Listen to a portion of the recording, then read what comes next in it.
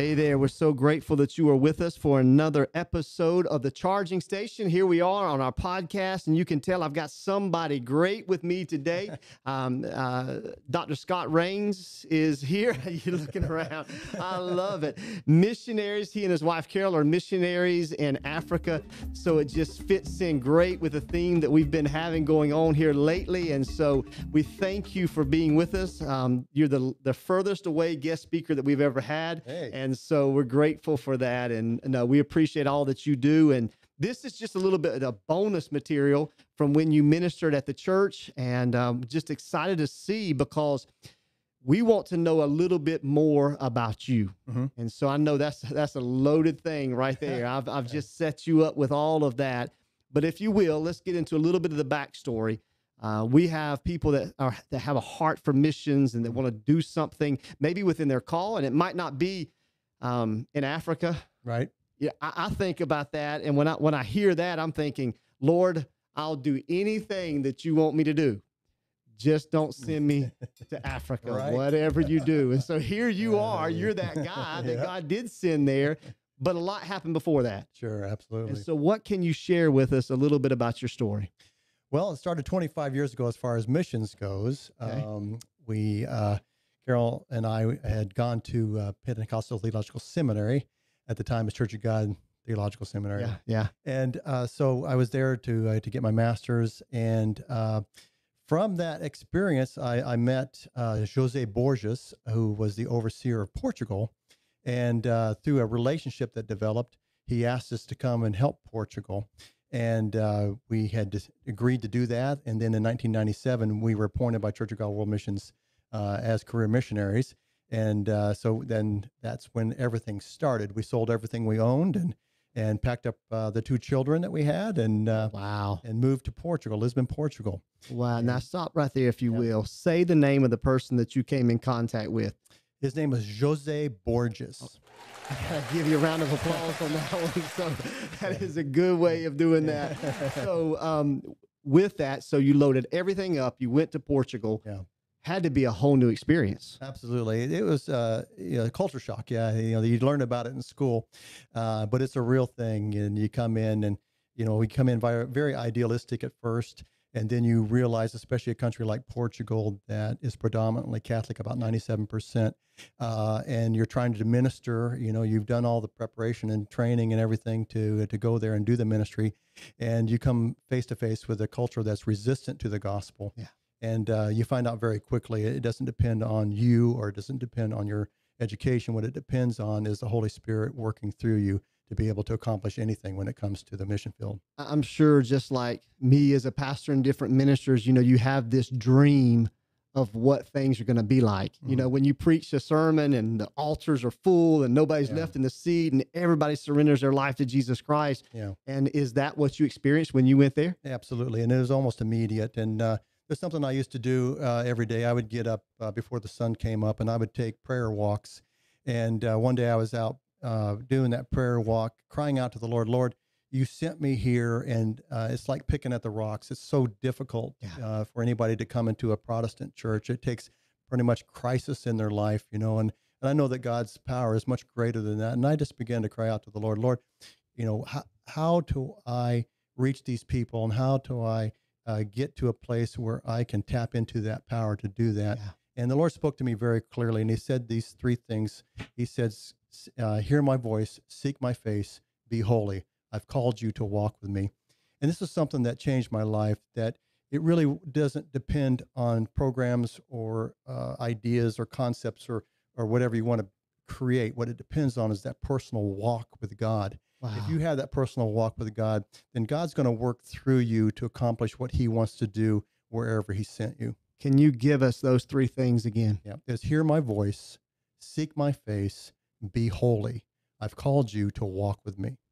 That's something that you mentioned 1997. Here we are all these years later, and you're still holding true to that 25 years. Yes. And um, that has sustained you, I'm sure, not just in Portugal, but everywhere that you've gone. Everywhere that I've gone, I've, I've we face the same thing. You know, it, in the United States, we're so fortunate to have a church on every corner, and it's on the TV, it's on the radio, it's everywhere you go.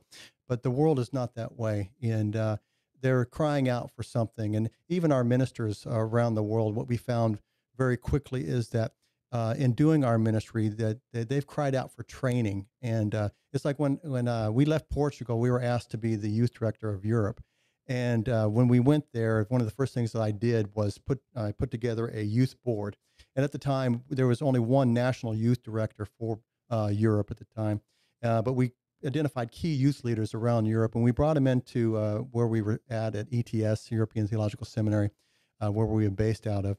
And uh, we had our very first meeting, and and I asked this question. I said, uh, "Tell me five things that." Uh, that I can do to help you accomplish your ministry. Oh, wow. And uh, without hesitation, every single person at the table said the same thing.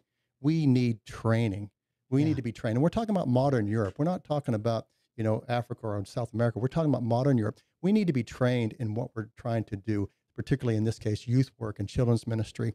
And he said they said everything else just pales in comparison. So we do, we learned very quickly that that training and education was key for me as an expatriate missionary to go and to make a difference. Yeah, well, I'm, I, I feel that there's a shift. I don't know when that's taking place, but that is something that seems to be happening in the United States because for so long we took advantage mm-hmm. of the fact that we were the ones that were sending out missionaries. Right. And in some ways, I feel like Jennifer, uh, God has placed Jennifer and I to be here as missionaries. Exactly. But that is where I, I guess I, I, I pulled up some some footage from uh, a few years ago but uh, here is two two young lovebirds right here, and um, this was in Germany. Yes, that's right. So after you left, yeah, yeah, for sure. So what was the role, and what did you do there? In Germany, we were the youth directors for Europe, and uh, we we were based out of uh, Kniebis, uh, where our our uh, our premier school uh, for uh, all of Europe is, and all of anybody coming in to be trained for ministry for Church of God would come to ETS. Uh, but we based out of there because it was a, it was a dual purpose. One was that we could also teach there, and we would teach uh, youth ministry and children's ministry because the work we did in Portugal was children's ministry. Yeah. Um, and then the second part is we could use the students in the school to uh, to help us in doing the youth work around all around Europe, and uh, okay. so that we had student uh, workers and we had. Uh, we involved them in everything we did. We started the first Winterfest, which yeah. we called Eurofest there, in 2005, and uh, and so it was just a great combination to be in that location. Well, that is when our paths crossed, and we were introduced yeah. to this this power couple and what God was doing. And again, I see that there was strategy involved in everything that God was doing because you're not only reaching, like you said, it is Europe, yeah. and you can reach a lot of people in a multiplied capacity mm-hmm. and um, reaching nations. I, I pulled mm-hmm. up another one that is difficult to, to see but I believe this was was that Belgium? That's Belgium that we were in. That's right. And um, so that's just a, another example of just exactly what happened with that. So yeah. so then after you were in Germany for a while, you took a, a leap and and and went mm-hmm. somewhere else. Yeah, uh, I was asked by the field director of Asia Pacific uh, to come and to take a, the Asian Seminary Christian Ministries ASCM uh, to be the president of the school there. And so at first I said no. Uh, and then he says, well, why don't you come and see it? I said, okay, I'll come and see it. Because, hey, I mean, uh, the work we were doing in Europe was just wonderful. Being the youth director for Europe, we traveled everywhere. Uh, we took our kids with us. We homeschooled them as we went along the way. So they were part of everything that we did, which was just wonderful. We, we really enjoyed what we were doing. Um, but the Lord had different plans for us. So I went. And when I got there, I knew that this was God's uh, purpose, God's uh, plan for us. And so I came back and said, yes, well, that we'll we'll do that. So we uh, this time we uh, sold everything we had there, and again, and, that, that, if I'm counting, that's number two. Uh, that's yeah. So that'll be uh, once in the U.S. we sold everything. Twice in Portugal we sold everything and went to to Germany. Then we sold everything in Germany. Then just went with luggage uh, to uh, the Philippines. Wow. And and then we started that work there, which was a which was a wonderful, beautiful work. And and this is again you you uh, came there again after you came uh, uh, and worked with us there, yeah. doing training. Yep, uh, exactly what in, you were talking Europe. about. Exactly right, and that's that was why it was so uh, important. You know, you can do when you as a missionary, you can receive a lot of people. You can see, receive uh, individuals. You can receive teams, people that are wanting to come and to and to make a difference. And I, and I believe in that one one thousand percent. Um, but many times it's more for the benefit of the person coming to to experience that the world is truly two thirds of the world is, lives in poverty, and uh, and they you know they need to see that what they have in America is is something that's that they're privileged with, uh, but they're coming to give and so on to in order to uh, you know to to make a difference. But what I found that uh, with the training that you came and did, it was it was for the first time I saw that there was a huge huge benefit to the works, the ministries that were going on in the country. Mm-hmm. And I and I believed in it so much that I begged when I w- left uh, Germany and I went to to the Philippines uh, I begged you and Tony Lane, please come, please come and do this training yeah. with us in the Philippines and uh, through the school there.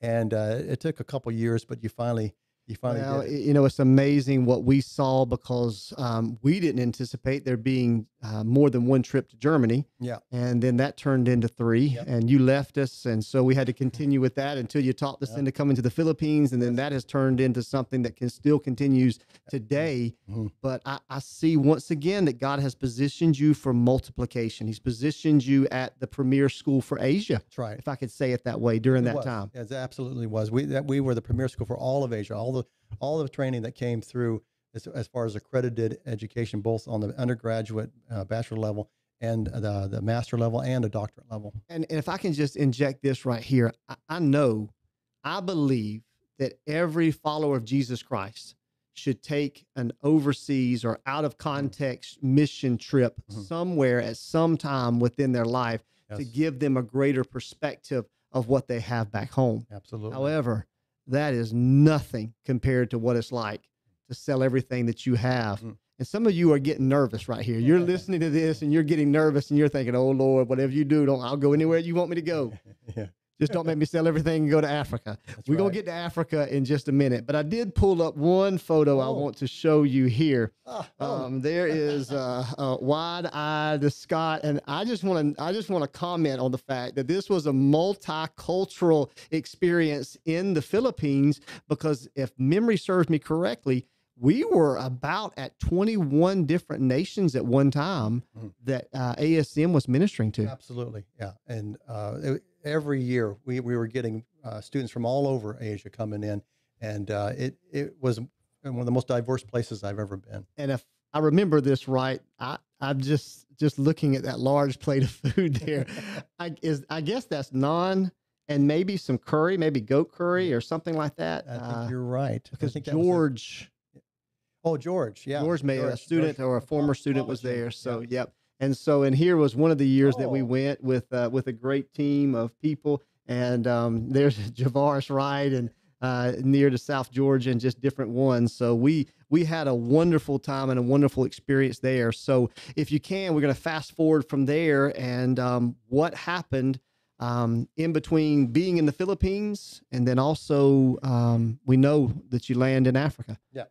Well, after the Philippines, uh, we uh, spent some time uh, doing uh, training. We, I would travel uh, to different locations, really anywhere in the world, either you know, mostly Asia and some in South America. But to wherever the need was, uh, we, we spent time just going and, and doing training. We did Japan. We did so many places that we were able to go. And again, like I said, the training is, a, is an important aspect for if people are coming from another country to, to, to, to make a difference in a, in a, in a mission field that uh, that the training is such such an important part. So we believe in that. We were doing that, and then um, in uh, January 2020, I got a phone call, and, and they asked me to take the school uh, in in Zambia. Uh, yeah. And the, the neat thing about that school is that, uh, well, I can tell you the whole story about how that came about. Do you want? Should I go into that, or let's let's um let's save some of that. Yeah, yeah, you got it. Because I want to ask you to come back for another episode. Oh, okay and I want to spend a lot of time talking about what God is doing mm. in Africa. Mm. Right now, again, I see um, firsthand what has happened because here you are on yet a third continent outside of North America. And again, God is of Africa, Peter Thomas, and the education coordinator, Jurgen Rudolph, uh, had been uh, working many, many years uh, to develop education system in Africa and they had done many great things. And uh, one of the things that they were lacking, though, was a an accredited school, yeah. uh, and maybe a central school, a premier school, like Asia had, like Europe had, like South America has. Uh, Africa was missing that. They had a lot of Bible schools, which which are great and very necessary, but there, every continent needs a premier school that is the, the, the primary place where our leaders and and our future pastors come to get that uh, accredited education. Because if they don't get it with us in a Pentecostal system, they're going to get it someplace else, yeah. and typically it's not going to be in a Pentecostal uh, if, education. If they get it at all. If they get and it at all. Exactly. I'm sure there's statistics to show that those who are trained and prepared uh, are, are, are largely successful yes. in what God does within the local church. Oh, uh, by far. It's like, and when, when uh, P- Peter and uh, Jurgen came, uh, because they could not find uh, any connection to get accreditation, because there was no African government that would give them accreditation. Yeah. Uh, so uh, they tried to connect with other outside schools, and then they contacted me there in the Philippines, and uh, and we checked into it, and sure enough, we were able to do a what they call a satellite program uh, through the Asia Theological Association (ATA), and uh, to be an accredited master's degree. And the master's degree, when you're doing it by extension, uh, is a great place to start because uh, it's two year program versus a four year degree. A four year degree takes so long. Yeah. Uh, when you're doing it by extension, much more than four I, years. I remembered hearing about that when we were there and about what God was was doing through all that. And mm-hmm. and here we are again. This is the group that assembled, and it's amazing how that God puts people on your team and yes. and and and is there. You know, it's good to hear all the backstory. It's good to hear all of that. Um, but let's just let's just let's just be real throughout all of that, you had to have encountered struggles along the way. Yeah. Oh, yeah. Yeah. Well, you know, uh, because there's this ideal that here I am, I'm reaching the nations and all of this is going on and, and it had to be difficult at times. Yeah. I think the greatest difficulties, uh, you know, when it comes to doing mission work is more the struggles you have with your family. Uh, and the difficulties of living in a foreign culture or living away from your own family in the ministry, you know, everything you do, you're, you know, you're taking steps as you're, as they're ordered of God.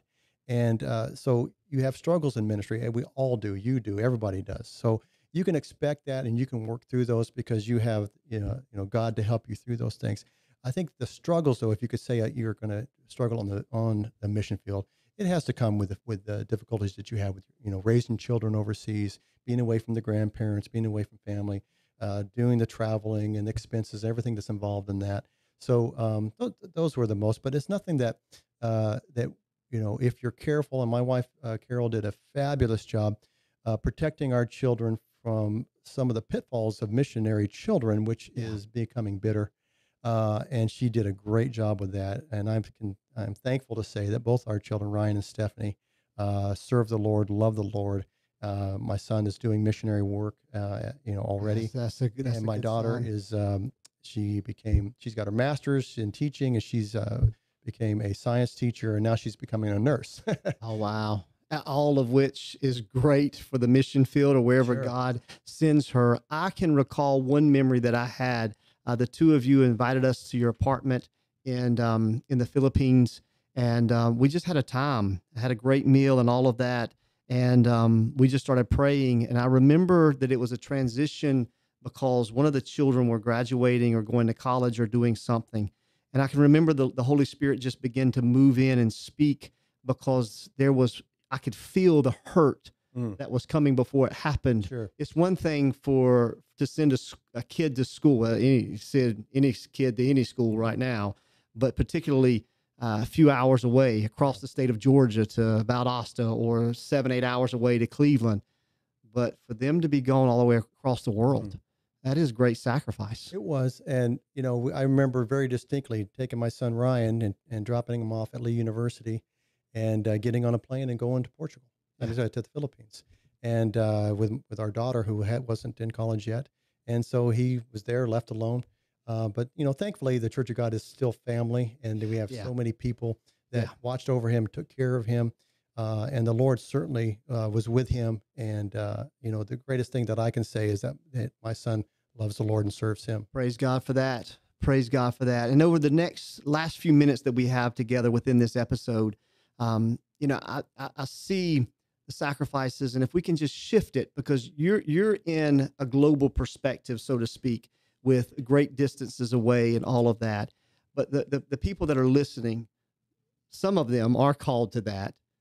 but they're called to a different mission field, as we all are. Uh, a mission field that's in this community and wherever it is. Um, can you speak to that a little bit? Because it's the same. There, there's going to be sacrifices. There's going to be struggles, Mhm. but there's going to be rewards if we remain faithful. Yes. And I think that's part of what you're experiencing in your ministry. Oh, absolutely. And uh, mission work is uh, doesn't is not just overseas.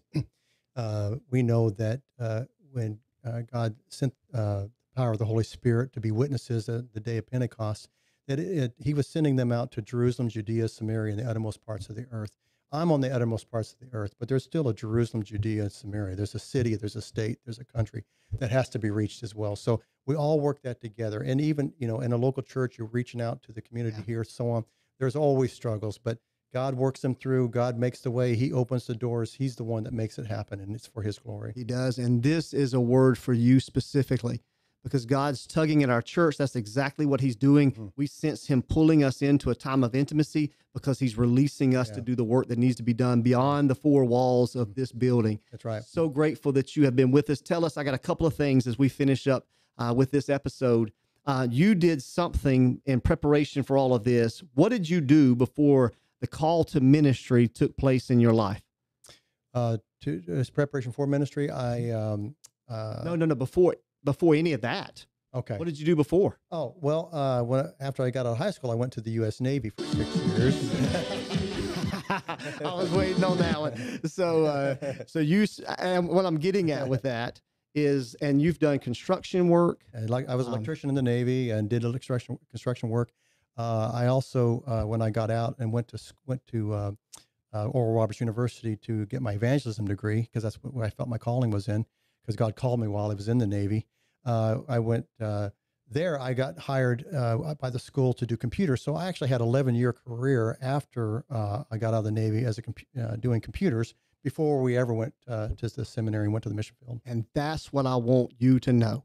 What God has already used in your past, what he has put you put before you Mhm. Is exactly what he's doing to prepare you for what how he wants to use you on the mission field wherever that may be and whatever that might look like. So don't think that what you've gone through that you're not qualified Oh, for. God will take care of you. He will use you and there's a great harvest that needs to be reached for right. the gospel of Jesus Christ. Hey, thank you so much for joining us for this episode and we hope to see you next time.